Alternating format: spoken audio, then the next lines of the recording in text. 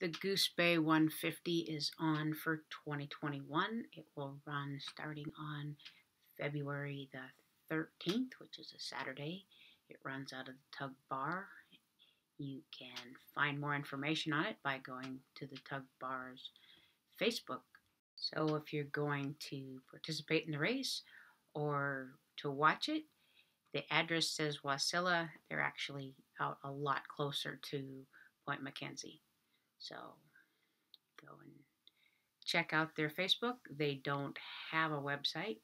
They're, you know, been having the race every year for quite a while. They just put it together right there, hanging out in the bar.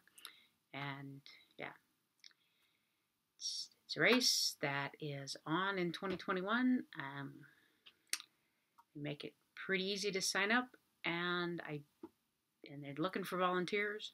I don't know um, don't know anything on any changes they've made for spectators or for racers for COVID.